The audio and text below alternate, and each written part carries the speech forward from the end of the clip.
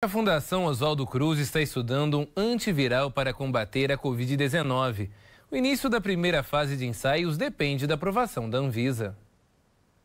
Uma pesquisa da Fundação Oswaldo Cruz apontou que uma substância purificada pode ser eficaz para impedir que o SARS-CoV-2, que é o vírus da Covid, se replique nas células humanas e também para ajudar a conter o processo inflamatório que o vírus causa.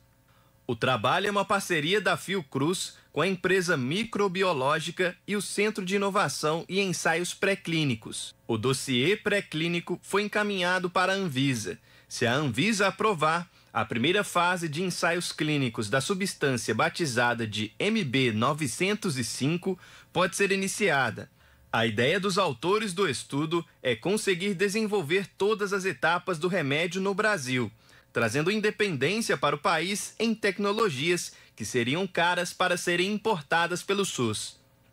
De acordo com os pesquisadores, esse medicamento não conseguiria curar a Covid-19 sozinho para casos graves da doença e para pacientes com comorbidades, por exemplo, vai ser necessário um coquetel de medicamentos.